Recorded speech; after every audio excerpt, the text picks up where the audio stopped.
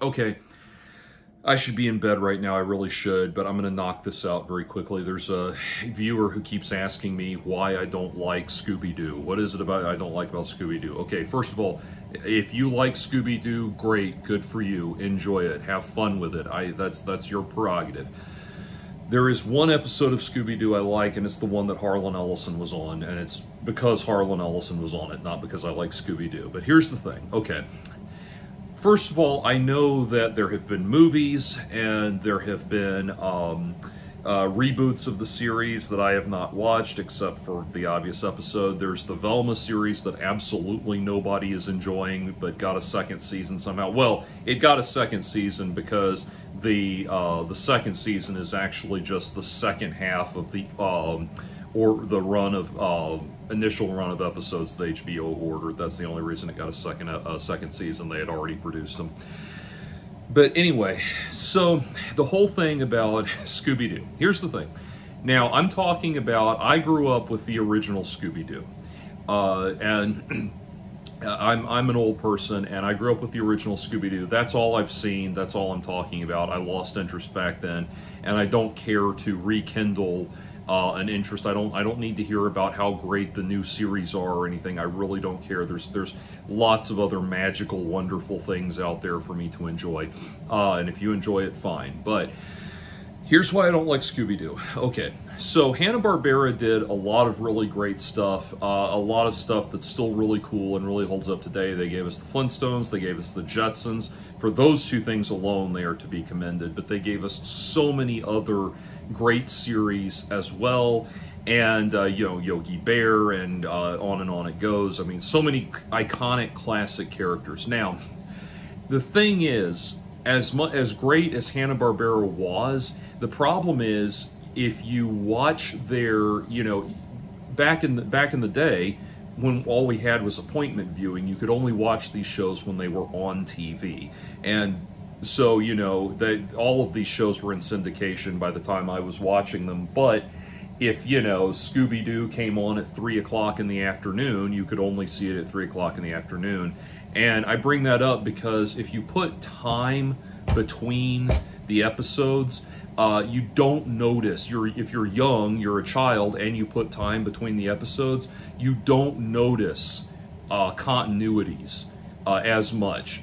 And Hanna-Barbera was very much banking on that. They were a very low-budget production company, uh, despite having a lot of um, great prof, uh, properties, uh, properties that were very successful. One of the things they did was find tons and tons of ways to save money cutting corners everywhere they could. That's why if you watch anything in Hanna-Barbera that has like a car going fast or somebody running fast, the background that's going by uh, behind them is the same thing, the same image being looped continuously. And it's just going so fast that you don't see it. So Hanna-Barbera was doing all kinds of stuff like that all the time. And what they would do was find uh, ways to reuse existing animation. Uh, one of those things they would do is bank on recurring jokes throughout their the episodes so that they could reuse animation, the same animation. This is why we always have uh, Shaggy and Scooby getting scared, and Shaggy uh, shouts "Zoink, Scoob!" and they turn and run uh, in one direction. Why are they? You know, why are Shaggy and Scooby always walking the same direction when they're when you know when they they split up? Why is it always Fred, uh, Fred goes off with Daphne and Velma, and Shaggy goes off with Scooby. You know, because these are the the uh, animation stills that they had on hand, and consequently, um, they just got it is it is so over and over again repetitious. So many things. There's over and over and over again are reused and redone to the point that if you watch that, uh, if you watch the series with any degree of regularity, you'll start to notice that. And I'm, again, I'm not talking about rebooted stuff now where they have big budgets to get behind it and everything. I'm talking about the original classic series. They keep doing the same things over and over again. And the problem is, it's it, it again. It it gets to be so obvious. You know, it's hard to be surprised that something, you know, that a wall, a, a part of the brick wall behind Shaggy and Scooby is going to open up and jerk them back into, you know, jerk them into some other room when we see a part of the wall that is a different color, a different shade of the same color as the rest of the bricks on the wall. We know what's about to happen. We know what's about to open up.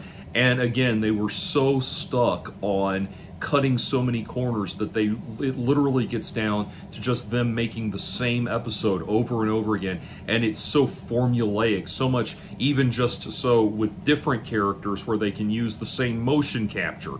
Why is it always you know where you know it's old man so and so behind the mask. Let's see who this is after all you know and again the problem is when that's what's happening over and over again even as a child i'm sitting there watching and thinking just once just once could the gang look at the situation at hand, not assume that it's a supernatural occurrence, and uh, and have to and and just say, you know what, whatever this is, it's probably the grouchy you know land landscaper or the grouchy janitor or the grouchy old man or the grouchy whatever that we introduced when we introduced all of the uh, episode specific characters. Yeah that guy that's always crotchety and complaining he's always the villain. We always know who the villain is. It's the same goddamn episode over and over again.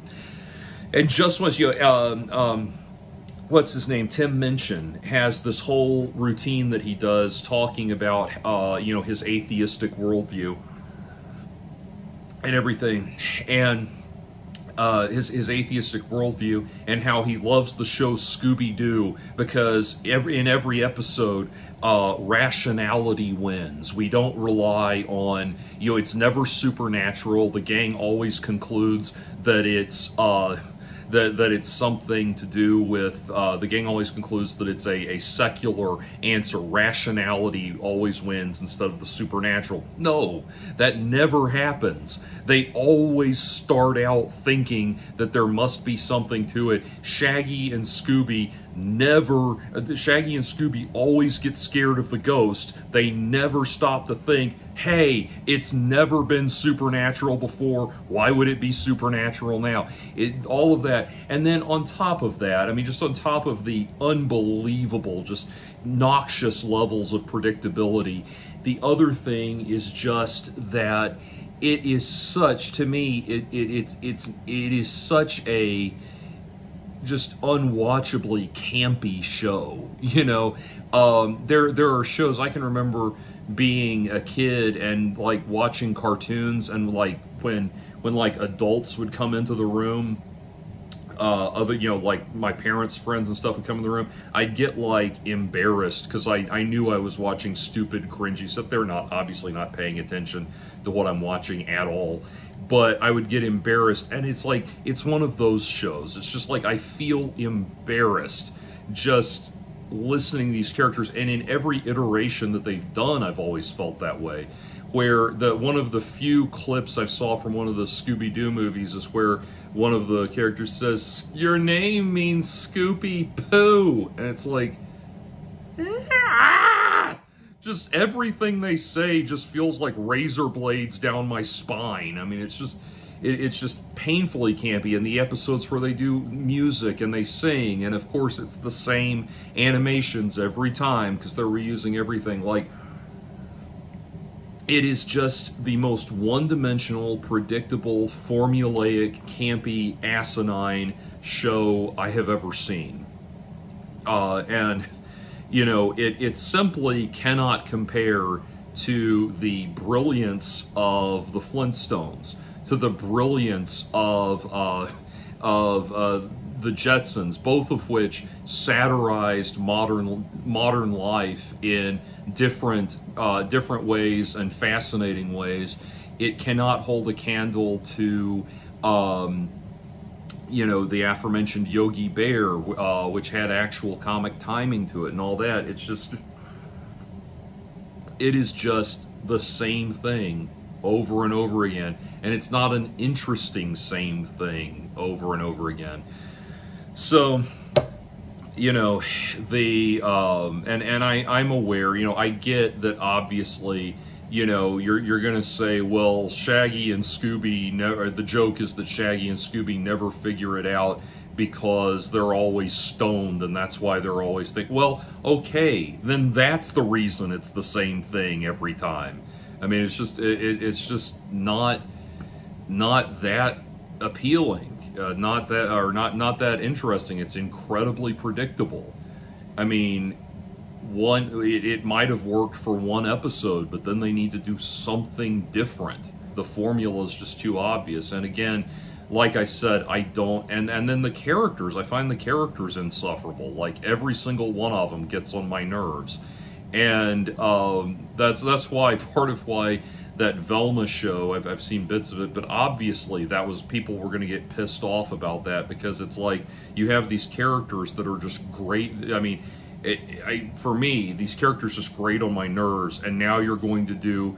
obnoxiously overblown versions of the exact character traits that get on my nerves. So anyway, that's why I can't stand Scooby-Doo. I don't watch it. I have no interest in watching it. And um, if you if you like it, that's great. But I honestly do not see what's so good about it, and I never have. I don't think it holds up to uh, other Hanna-Barbera cartoons from the time. I don't think it holds up to um, other cartoons from other companies at the time. It sure as hell does not hold up to the brilliance of the Chuck Jones Looney Tunes cartoons or the Bill Melendez, Lee Mendelson, uh, Charles Schulz um, Peanut specials or anything like that. It just, it has no soul, it has no heart, it has no passion. It's just a, a one note, one trick pony that has been around way too long.